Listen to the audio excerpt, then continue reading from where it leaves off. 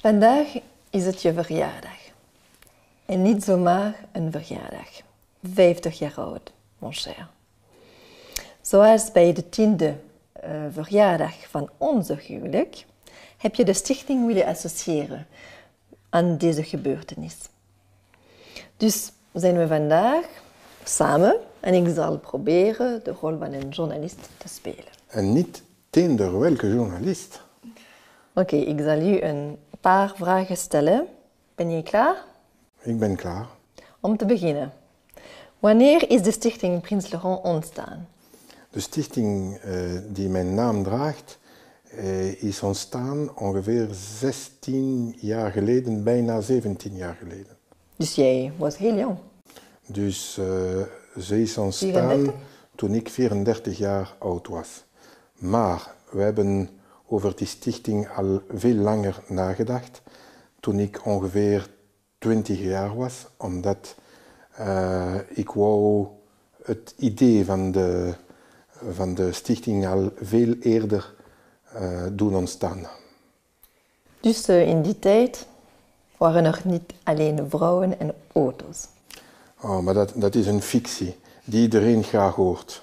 Oké. Okay. Waar kwam eigenlijk het idee van de stichting vandaan? Er zijn twee objectieven van de stichting.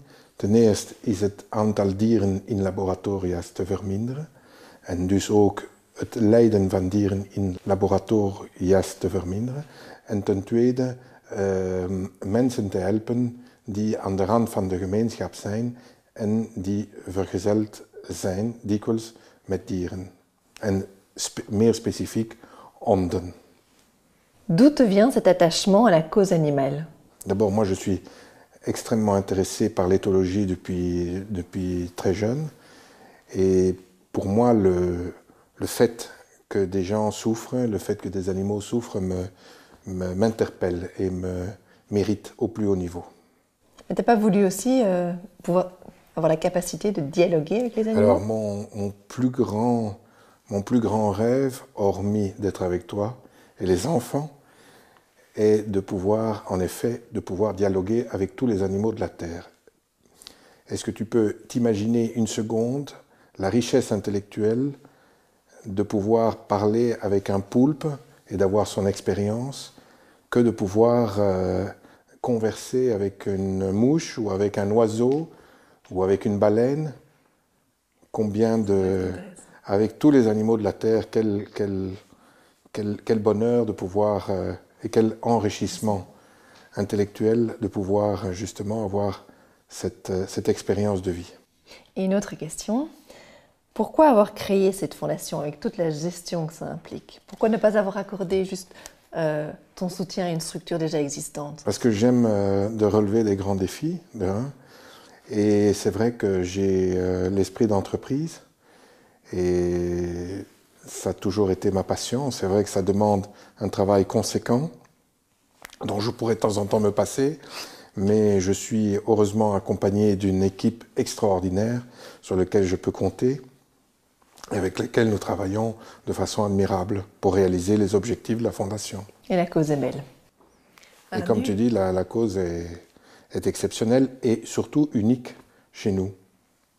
Nu heel concreet, wat zijn die activiteiten van de stichting? Maar door onze vijf dispensariërs verzorgen wij ongeveer meer dan duizend dieren. En in dezelfde tijd uh, geven wij ook zorgen, als ik mij zo mag uitdrukken, voor meer dan duizend personen.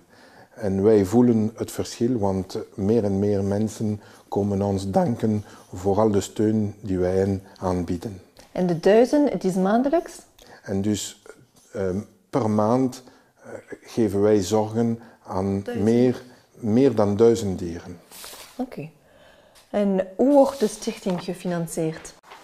Dus de stichting heeft geen subsidies uh, door de staat of door de stad of door uh, de gemeenschappen, maar wij hebben dus uh, schenkers die ons het geld geven en wij zijn en zeer dankbaar. Une initiative plus récente est la mise à la disposition des conteneurs pour les sans-abri accompagner leurs chiens près de la gare centrale. Tu peux nous expliquer? Oui, nous avons euh, réalisé avec l'équipe euh, l'idée de pouvoir euh, mettre à la disposition trois conteneurs qui permettent de loger une dizaine de sans-abri et comme ça désengorger la gare centrale et de pouvoir aussi, pendant la période des grands froids, loger des gens qui n'ont pas la possibilité de se loger avec leurs animaux. Nieuw is ook dat de stichting sinds kort samenwerkt met de universitaire wereld. Ja, we hebben dus een overeenkomst getekend met de Universiteit van Gent om dus uh, uh, de studenten een praktische vorming te geven. En wij hopen dezelfde overeenkomst te kunnen tekenen met de Universiteit van Luik. Bon, alors en revenons à des choses plus personnelles. Depuis tes 34 ans et la création de cette fondation, as-tu fort changé? Ben, Le fait que je t'ai rencontré et que tu m'as donné ces trois belles crevettes que nous avons aujourd'hui, comment est-ce que nous, on ne peut pas changer? Comment est-ce que le, le fait d'avoir ces trois enfants ne change pas la vie d'un homme? En zijn in feite de voor, maar ook de nadelen van 50 jaar oud te zijn? Ik denk dat ik nu in mijn leven, bet- in mijn vel en in mijn leven beter voel dan vroeger. En ik ben tegenwoordig zeer positief.